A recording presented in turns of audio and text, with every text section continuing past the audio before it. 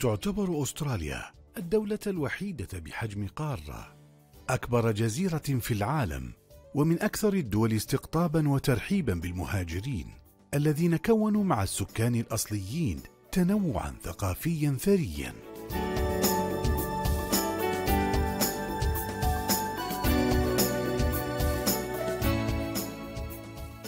اقتصادها من أقوى اقتصادات العالم ويزورها سنويا ملايين السواح الذين تجذبهم الشواطئ الجميلة والطبيعة الخلابة والبيئة المريحة والطقس المعتدل إضافة إلى الثقافات والفنون المتنوعة.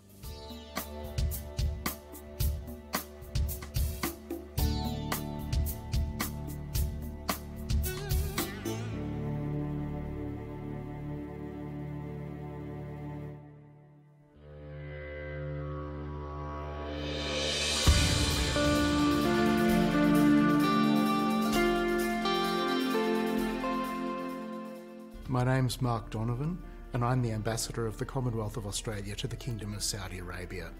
And I've been very pleased to be here for about two and a half years. An ambassador's role can become all consuming. Uh, when I get up in the morning, my capital city, Canberra, is already hard at work and expecting the same of me. So my days filled with meetings, work inside the embassy, outside the embassy, and a lot of functions in the evenings as well.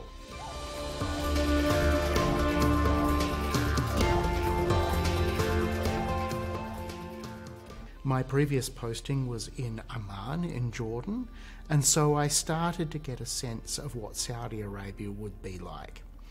Uh, I studied the Middle East at university and I was able to meet a lot of Middle Eastern ambassadors in Canberra, but also in other cities around the world. And that included Saudi diplomats as well. So I had a little bit of a sense, but I didn't want to arrive here with a preconception. So when I arrived, uh, I was very, very pleasantly surprised by what I encountered. Saudi hospitality is now world famous, and it's been great to encounter that here.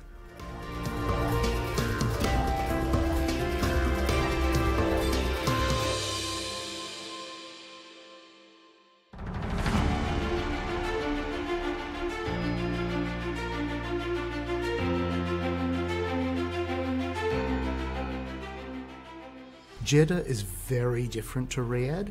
It has a completely different feel, not just because it's a seaside city, but because for so long it was the cosmopolitan gateway for Muslim pilgrims to make their way to Medina and Mecca. And so I really like getting down to Jeddah just to see the difference. Buraydah was great to see. It was fantastic to be able to see the city that is so famous for the production of dates in Saudi Arabia. I'm really keen to get down to Abha. It looks beautiful.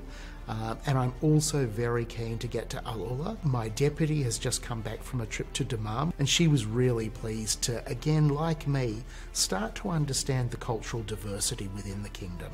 Riyadh's a great city. It's bustling, it's changing, it's modernising, it's transforming.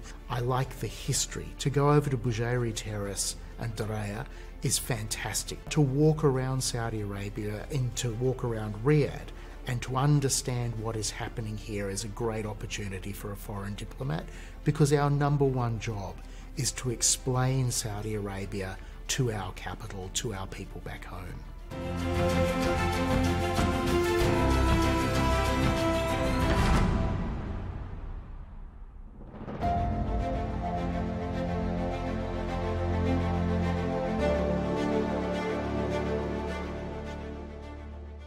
In early 2022, I was really pleased to see the Biennale at Diriyah. Um, I'm looking forward to it again. I attended the opening of the new Museum of Contemporary Art, and the art there was phenomenal. But the roots and the history of Saudi Arabia are as important, if not even more so. So to be able to go downtown to see the National Museum of Saudi Arabia, but also to see an, just an exhibition of uh, Arab coins and understand the history and situate things in history. Um, I've been to a few shows Uh, the recent opera festival was fantastic. So much effort went into putting on a good show.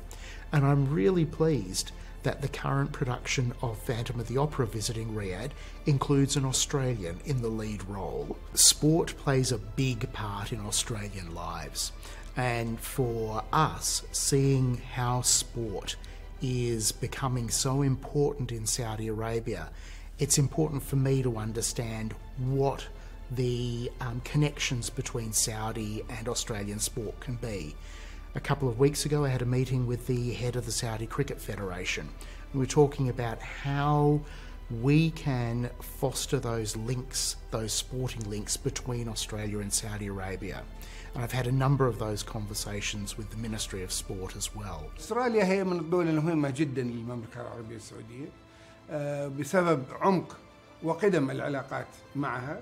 أستراليا واحدة من الدول القليلة التي لدينا معها اتفاقية اسمها الاتفاقية الاقتصادية وتبحث في أمور كثيرة متعلقة بالاقتصاد هناك طبعا اللجنة المشتركة وتواصل اجتماعاتها باستمرار في في المملكة وفي أستراليا هناك جمعية الصداقة البرلمانية في مجلس الشورى السعودي وهذه واحدة من اللجان الفعالة في في في مجلس الشورى السعودي. ثم آخر اتفاقيات كانت اتفاقية إنشاء مجلس الأعمال السعودي الأسترالي مع مجلس الغرف السعودية. وكان هذا المجلس فعال جدا وكان نشيط وكانوا يعني أنا أنا أقول هذا الكلام لأني كنت عضو مدة طويلة في هذا المجلس وكنت أحضر اجتماعاته وأقارنه ببقية المجالس فاهتمام من الجانبين كان عالي جداً.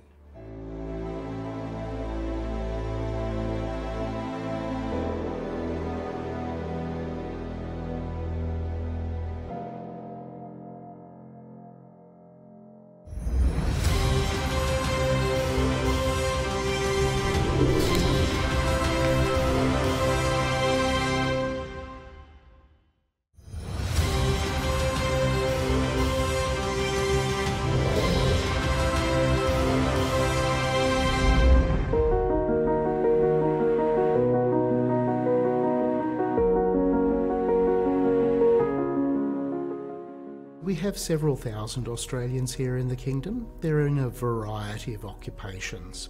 Um, several of the CEOs of the largest companies in Saudi Arabia are Australian. Uh, several hundred Australians are working on the Giga projects, which is fantastic to see. There are a lot of other Australians in the private sector. Um, for them, uh, their life here is, as I understand it, pretty good.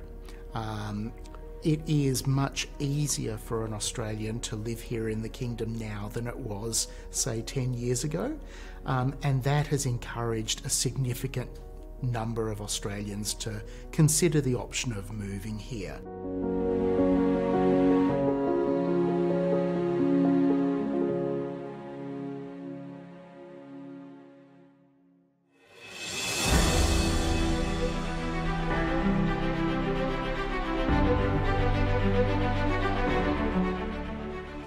The numbers of Saudis visiting Australia is not large, um, and with the investment Saudi Arabia is making in tourism and particularly in new airlines like Riyadh Air, we are expecting those numbers to increase. Tourism plays an important role in building people to people links. Saudi is a long way away from Australia, and Saudi students are phenomenal envoys for Saudi Arabia. They are the main reason that Australians can understand what is happening here in the kingdom, the transformation that is underway. As Saudi Arabia is transform- transforming, the skills base that it needs is going to come from, in large part, those students who study overseas. No country can have economic diversification without a really solid foundation in technical and vocational education and training as well. So I think that's where we can build on those education ties between Saudi Arabia and Australia.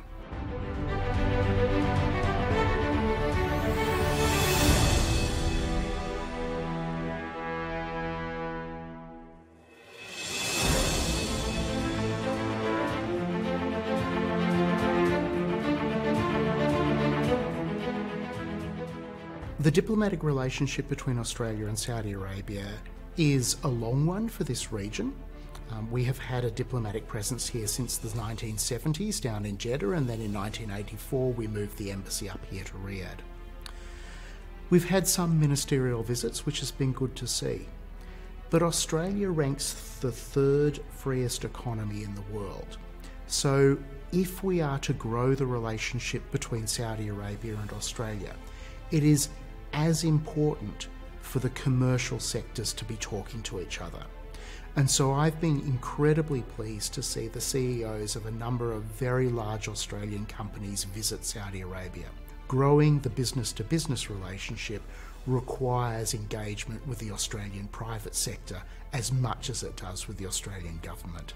There's a very big focus on the Australian side for trade diversification, and that's a focus for Saudi Arabia as well.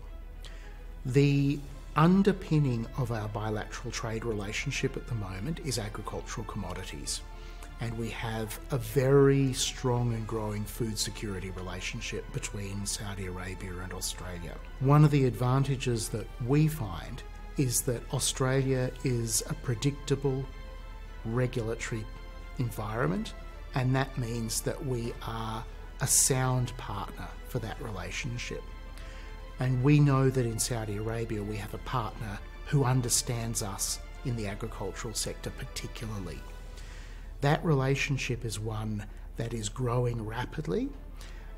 Australia is a country that exports 75% of what we grow. We're a nation of 26 million people that has enough food for 75 million people. So that means that we are a major food security partner for a lot of countries around the world. Part of my job has been to educate Canberra that for Saudi Arabia, as other countries in this region, security around supply chains and security around guarantee of supply is important. And we have had a number of senior officials from our Ministry of Agriculture come here to see for themselves and go home with a better understanding of how we can foster that relationship. واحدة من أهم الدول في حجم الصادرات للمملكة العربية السعودية هي أستراليا ومن أهم الدول فيما يتعلق بالواردات من أستراليا. يعني كانت كانت أستراليا دولة مهمة جدا. في وقت من الأوقات كنا نستورد كميات كبيرة من السيارات من أستراليا وباعتبار أنها كانت صناعة متقدمة في أستراليا. ولكن الآن انتقل الاهتمام من السيارات إلى البتروكيماويات والمواد المصنعة والمنتجات البلاستيك نصدرها لاستراليا بقيمة تصل إلى أقل حوالي مليار ونص دولار.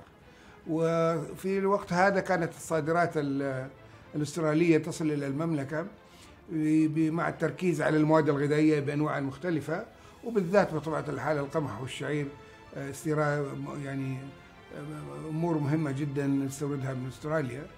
والجزئية الأخرى هي تنمية الاستثمار. استطاع مجلس الأعمال السعودي الأسترالي أن يرفع حجم الاستثمارات السعودية في أستراليا إلى حوالي 3 مليار ريال واستطاعوا كذلك أن يجتذبوا 4 مليار ريال من الاستثمارات الأسترالية إلى المملكه تتنوع الاستثمارات هذه في العقارات وفي الزراعة بطبيعة الحال بسبب الاهتمام بالقمح والشعير.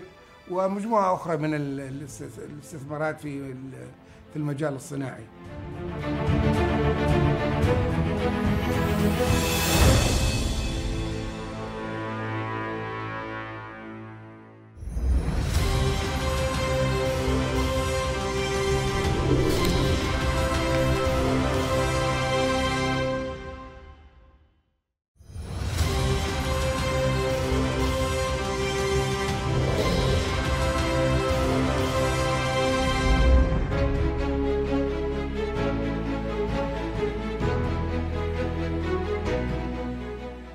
For me, Vision 2030 is a roadmap to where Saudi Arabia wants to be. And in that sense, it is incredibly important for the kingdom. The Giga projects are the flagship projects of Vision 2030. But in between those Giga projects, there are other really important things happening social transformation, regulatory reforms, and the economic diversification that will encourage a vibrant and dynamic private sector in the kingdom.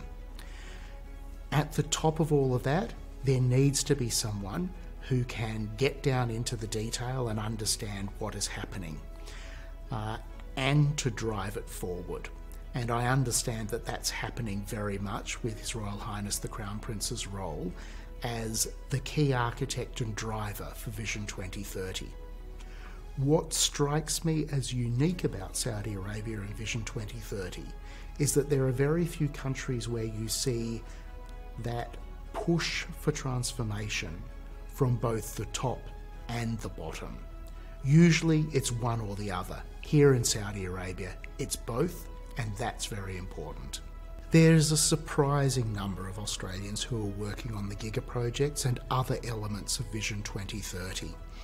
Um, for example, up at NEOM, the second highest number of expats in white collar occupations is Australians, and that's replicated across a few of the Giga projects. The opportunities that we see for Australia are in niche areas that reflect commonality between Australia and Saudi Arabia. We're both big countries, we're both G20 economies. We're both very dry countries that have to be very, very careful about how we use water. And so there's an Australian company that has been critical to how some of these giga projects write their water regulations and ensure that they use water efficiently. هناك اهتمام من الجانب الاسترالي بالرؤية المملكة 2030 وكانوا يبحثون ويستفسرون عن مجموعة من البرامج والمشاريع والمبادرات الموجودة في وهذه ميزة مهمة في في في الرؤية وهي أنها توضح المطلوب تماما ليست عموميات وبالتالي يستطيع سواء كانت الحكومات أو مجموعات رجال وسيدات الأعمال أن يطلعوا على المجالات المهمة التي يهمهم أن يشاركوا فيها. فكان ال ال ال الاستراليين مهتمين بالرؤية ويبحثون في مجموعة من من البرامج المهمة بالنسبة لهم حتى أننا يعني في اجتماعات مجلس الأعمال يعني نقضي جزء كبير من وقتنا في الحديث عن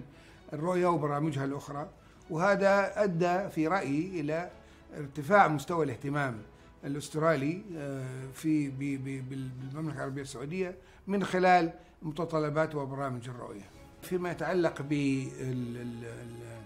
بالامور التي تحتاج نحتاج القيام فيها لرفع مستوى التعاون سواء اقتصادي أو غير اقتصادي هو تطوير القوى العامله كمثال جزء مهم جدا من اهتماماتنا في المملكة العربية السعودية وأستراليا نجحت نجاح كبير في هذا الموضوع وممكن ننقل خبرتهم إلى المملكة باستخدام واحد من البرامج المهمة في الواقع في في في الرؤية. والخطوة الثانية التي يتصور هناك حاجة لها وهو فتح خط طيران مباشر بين المملكة وأستراليا. عندما يتوفر الخط المباشر تقفز التجارة والاستثمار قفزات كبيرة جدا. وبالتالي أتصور أنه يعني بطبيعة الحال هناك حاجة إلى رفع درجة اللقاءات تكرار اللقاءات سواء كان في اللجنة المشتركة أو في مجلس الأعمال الآن التقنية الموجودة لا تتطلب سفر مسافات طويلة باستمرار ولكن يمكن عقد هذه الاجتماعات وتوفير هذه المعلومات بوسائل متعددة من خلال التقنية.